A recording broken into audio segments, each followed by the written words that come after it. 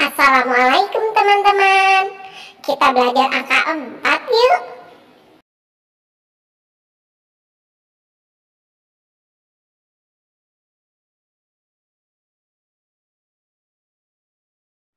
Satu Dua Tiga Empat Empat gambar ayah Satu. Dua. Tiga. Empat. Empat. Gambar ibu. Satu.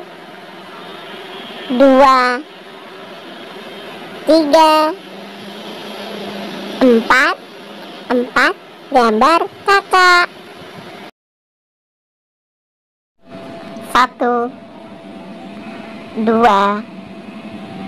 Tiga. Empat. Empat. Gambar adik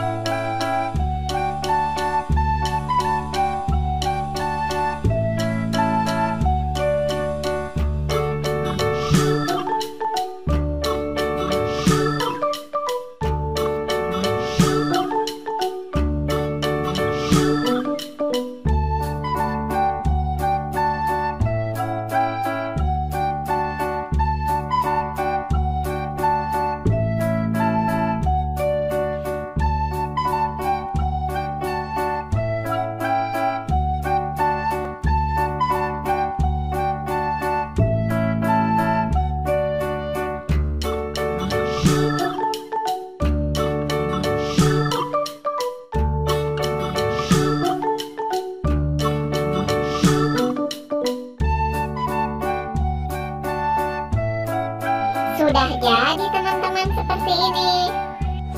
Terima kasih. Wassalamualaikum